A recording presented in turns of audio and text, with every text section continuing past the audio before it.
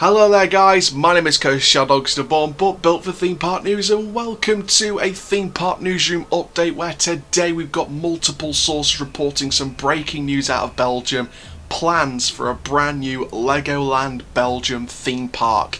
Uh, now we're going to be speaking about all the information in this video, all of the different info from two different sources. That's why it's a breaking news update. We've got two different sources on this news update. Uh, L'Echo, based in Belgium, it's a Belgian news source. And then we've got Looopings, which is an overall European news source. I use them quite a lot for information. So, you know, two massive sources, both in Belgium and the rest of Europe, uh, to speak about this brand new theme park. Uh, before we get started, guys, uh, got some news. Um, I put an appreciation post out yesterday on the community. Uh, we're nearly, we're, we're getting closer and closer to 500,000 views across all the videos over the last two full years on YouTube. Two full years, you know, you know, obviously there's 365 days in a year. Double that, 730. I'm I'm terrible at maths, but it's something like that. Imagine 365 days times two. That's how long we've been on YouTube in terms of full years, and we've got nearly 500,000 views. I, I, I, I can't like fathom that, which is unbelievable. So thank you guys so, so much for that. Uh, but for now, guys, make sure you like, comment, subscribe, click the notification bell so you never miss a YouTube video. If you go into the description, you can check out the links to both news sources, news stories, news articles for this uh, story. Uh, as well as in there, there is my Instagram, where you can subscribe to, my Snapchat, my Twitter, my second channel, which is about sports, football, and basketball journalism. So you can check that out in the description down below as well. And also my brand new TikTok. And also, if you if you're doing this on your laptop, or you want the YouTube version or the desktop version of YouTube on your laptop, then I've linked where the social medias are. You know, in like the bottom right corner on your laptop version. I've linked my TikTok there as well, along with my Instagram, Snapchat, and I think Discord and Twitch is on there as well. So uh, you can all subscribe to them. And uh, for now, let's get into talking about the brand new Charles Charleroi, I think that's how it's pronounced, the place in Belgium, where there could be a brand new Legoland theme park. Let's have a look at them. So, combining the two information sources, we have an official update on this brand new project. The Merlin Entertainments Group is studying the establishment of a Legoland amusement park in Charleroi. The project could create a thousand jobs, long promised to, to the electric cars of the Chinese Thunder Power after the departure of Caterpillar just four years ago, the former site of the American manufacturer of construction machinery is talking about it again. A feasibility study was quickly launched, but the coronavirus crisis raised fears of the worst for the amusement park project in Charleroi. Now, a quote says, One would have indeed thought that the file was going to be buried with the crisis, but this kind of international group must always think of the future. The file has just taken a new impetus this week with the designation of the investment bank Tandem Capital and the launch of a fundraising to finance the project. This operation is carried out jointly by Merlin and the Walloon region. Now the quote says Merlin is ready to put 100 million euros on the table and the entire project is estimated at 300 million euros. In partnership with the Walloon region and its armed wing Sogepa, I think that's how it's pronounced. The group therefore hopes to raise 200 million from investors within six weeks, uh, explained by the news source Le Echo. In addition to the attractions at the park, the amounts will be used to finance the construction of hotels, um, as well as restaurants, and they want exclusivity on the site. Now, the amusement park is to be built on an industrial area of 93 hectares, abandoned since 2016. It's said that this involves the investment of almost 300 million euros. Uh, now, Merlin representatives already visited the site back in December 2019, and there will be no serious interest, but there is no signatures on the paper yet. So the signature is a serious signature interest, but there's no signatures on the paper as of yet. Due to the corona crisis, the project has been on the back burner in recent months, and this week the matter gained momentum when the appointment of an investment bank.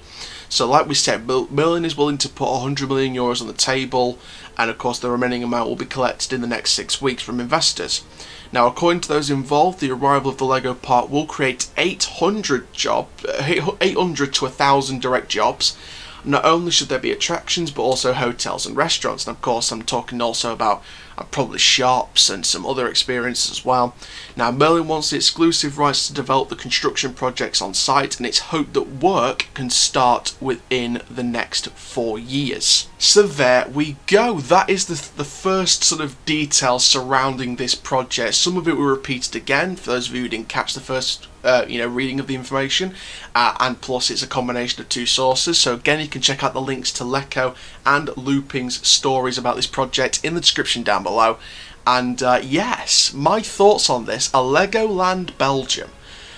At least it's not another one in Asia or one in Dubai or something like that. It's, it's one that's you know in this day and climate realistically you know you can you can reach out to it you know.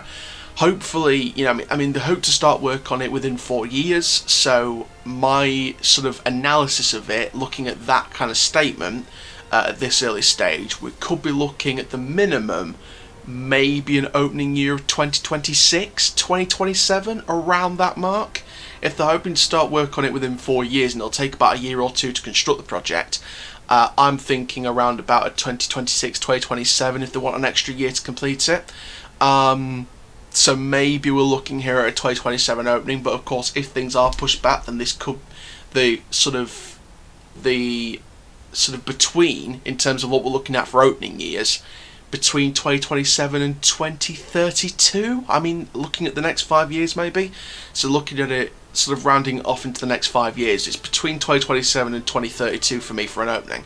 So uh, it will be interesting to see what's going to happen uh, with this project. Um, in terms of attractions, I mean, I'm half expecting, you know, uh, a Dragon roller coaster, a Dragon's Apprentice, maybe. Um, maybe an Ninjago dark ride, maybe a Lego Factory Adventure dark ride like the one going into the brand new uh, park for 2021 in New York. Uh, so maybe we're looking at one of those types of dark rides with the ETF ride, sorry, the ETF, ETF ride systems and the Holovis technology. So maybe we're looking at a combination of that for this particular theme park.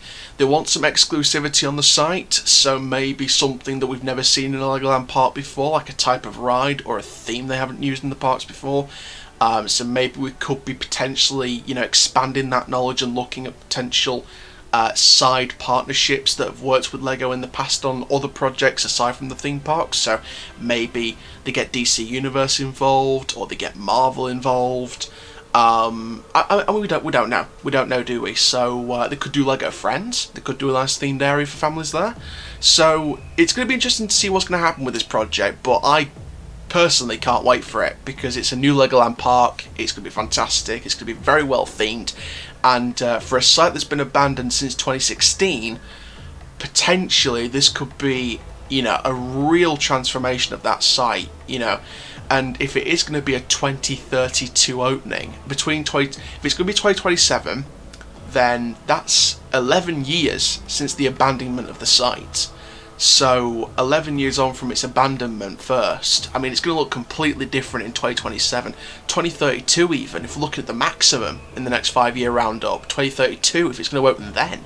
You know we're looking at another 16 years. So you know, I think it's going to be a, a, bit of a waiting process over the next four years. It's one of those projects that you've got to, you know, let bed in, you've got to let it control, got to let it take flow. And, you know, four, four, five years down the line, we could see some developments on this. We could see little t bits of information over these next four years while we wait for the massive news if it's going to break ground or not.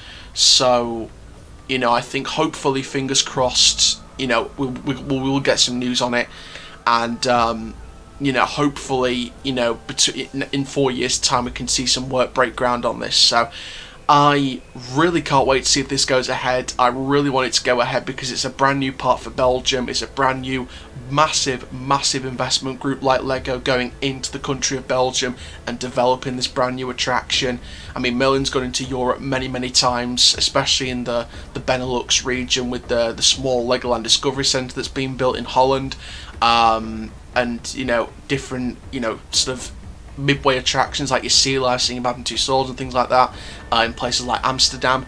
So you know, there's a, and obviously you know, it, there's plenty more to come from Merlin in the Benelux region. So I'm really excited to see what's going to happen with this. So thank you very much, guys, for watching this theme park newsroom update from Legoland Belgium. I can't believe I'm saying that. Um, we do have one more news update to come today, and that is from Nigloland in France. We've got our special uh, unnamed agent character, who's been uh, a bit of a character, who's who's uh, coming with a special report about Nigloland. So uh, you know, stay tuned for that guy. And uh, for now, guys, make sure you like, comment, subscribe, click the notification bell so you never miss a YouTube video. And for now, guys, my name is Coaster Chall. Keep living the coaster life, and I'll see you guys next video very, very soon. Take care, guys. Have an awesome day.